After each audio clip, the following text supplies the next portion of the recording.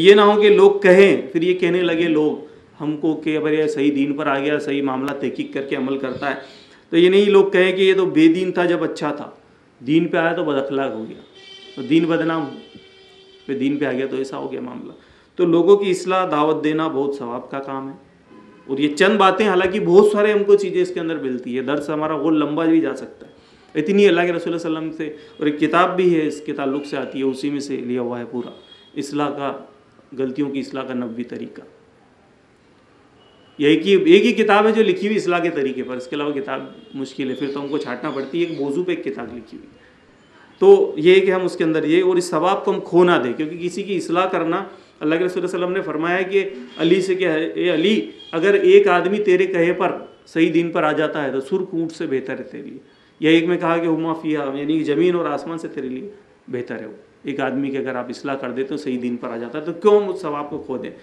हमारी गलती और अपने तरीक़ों से, और ऐसे लोगों के तरीके से जो मुकर्र को हम सुनते हैं और वो जो है फटाफट सीधे फतवा फेंकते रहते हैं और उसके तरीके से हम अपने क्यों सवाब को जाया करें?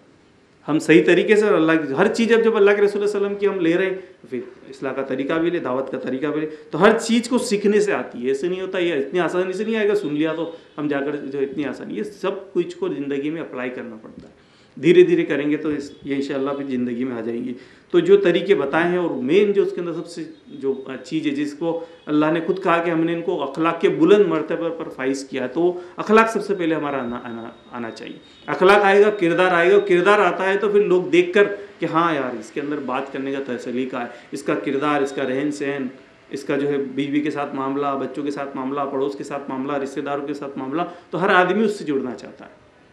तो अपने किरदार के अंदर पुख्तगी आएगी तो फिर लोग ये नहीं कि फिर गुस्सा, चिल्लाना, बुरे अलका, बिदती, मलून, काफिर, मुशरक, ये चीज़ें हमारा काम नहीं है। ये सब शैतान के भेकावे हैं। और अगर बार बार कोई आदमी इस चीज़ों पर भड़कता है ना बार बार गुस्सा हो जाता है, गुस्सा बोले, अरे तो आदमी उसको फिर मज़ाक का मौजू बना लेते हैं उसको फिर देखा मैंने कई लोगों को, वो दिन भर ऐसा भी नहीं रोज रोज भी ऐसा नहीं होना चाहिए कि आप रोज ही, क्योंकि लोग पीछे पड़ जाते जब जो मिले मोहल्ले के अंदर, भाई, ये गलत वो गलत फिर आगे मिला ये गलत वो गलत ये आओ ये पढ़ा ये करो। हमेशा भी नहीं लगना चाहिए नहीं तो फिर लोग उसकी बात की वैल्यू ख़त्म हो जाती फिर लोग उसको मज़ाक बनाते हैं अरे देखो हज़रत आ रहे ओ हज़रत वो फला या फला उसको पुकारते फिर उसको छेड़ते हूँ मज़ाक का मौजू बन जाता है खुद। उसको लगता है कि मैं तो काम कर रहा हूँ लेकिन पता चला गया तो मज़ाक का मौजू बना हुआ तो ये हम कर, नहीं करना चाहिए तो फिर बार बार भी गुस्सा हुआ आदमी बार बार जरा सा कुछ को लाल हो जाए। और ये तो लालजी है चलो इसको अभी लाल करते हैं इसको बोल के।